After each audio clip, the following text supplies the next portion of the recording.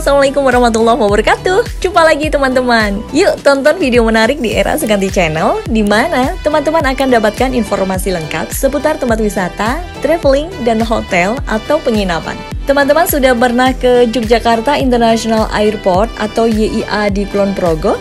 Jika belum, teman-teman perlu mencoba sesekali mampir YIA bukan hanya sekedar bandara, tapi bisa menjadi alternatif untuk berwisata teman-teman. YIA menggantikan Bandara Adi Sucipto sebagai bandara utama di Provinsi Daerah Istimewa Yogyakarta. Kapasitas terminal YIA mampu menampung hingga 20 juta penumpang per tahun. Lokasi YIA berada di Palihan, Temon, Kulon Progo, Daerah Istimewa Yogyakarta teman-teman.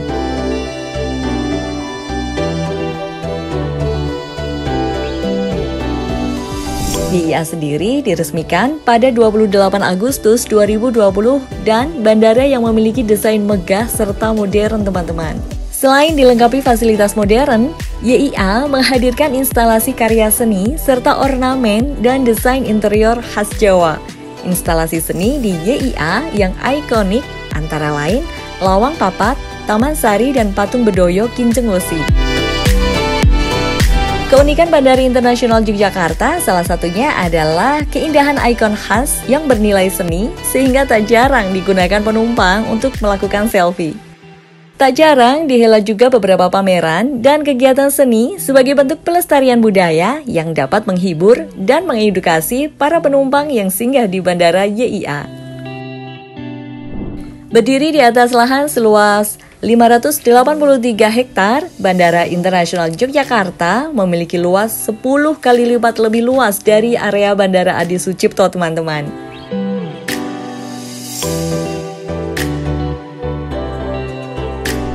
Spot-spot di YIA juga sangat instagramable, cocok bagi calon penumpang yang gemar berfoto dan aktif di media sosial. Nantinya, YIA diharapkan bukan lagi sekadar bandara, tapi merupakan Aero City yang menjadi tujuan gaya hidup teman-teman. Bandar Udara Internasional Yogyakarta di Kulon Progo memiliki beberapa keistimewaan loh teman-teman.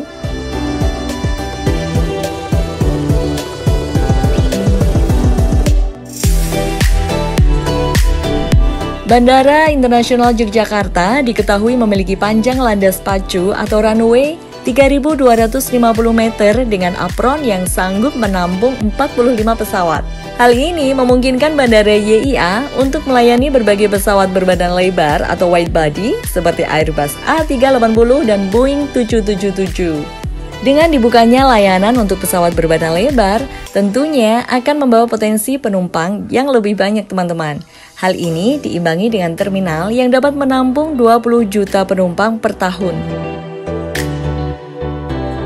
Calon penumpang di Bandara Internasional Yogyakarta akan dilayani melalui dua terminal sesuai tujuan penerbangan, yaitu terminal domestik dan terminal internasional.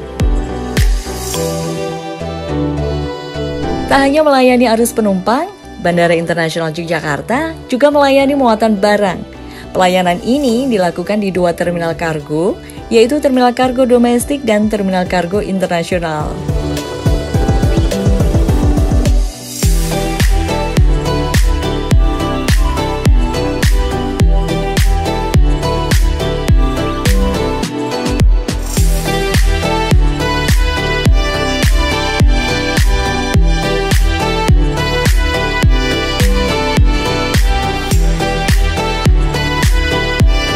Sebelum lanjut nontonnya, jangan lupa like, share, comment, and subscribe.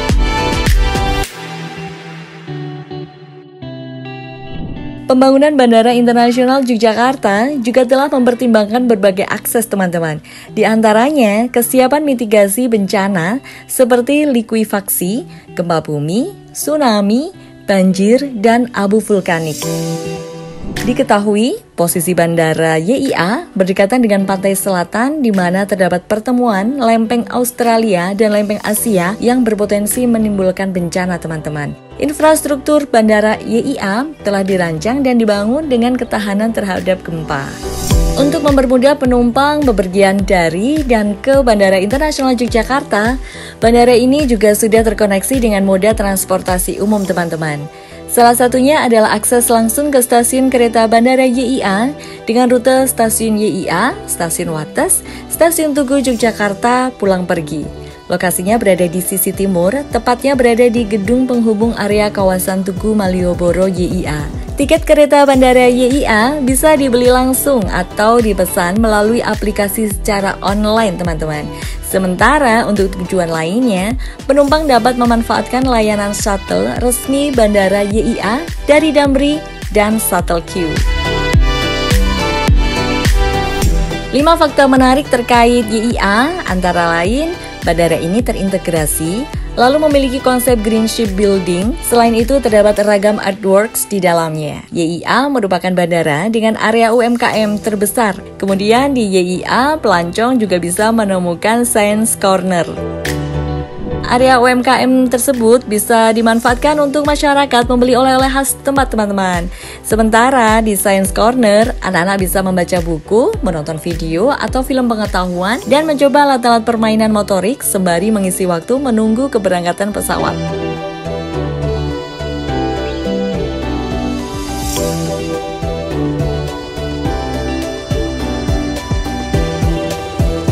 YIA di Kulon Progo memang cukup jauh dari pusat kota Yogyakarta teman-teman. Tapi tak perlu khawatir, sebab banyak alternatif transportasi yang bisa membawa penumpang ke pusat kota dari YIA. Salah satunya menggunakan kereta api bandara YIA. Baik teman-teman, kita sudahi dulu coba kita kali ini ya. Semoga informasinya bermanfaat. I wish you a happy trip. See you on the next video. Wassalamualaikum warahmatullahi wabarakatuh. Bye.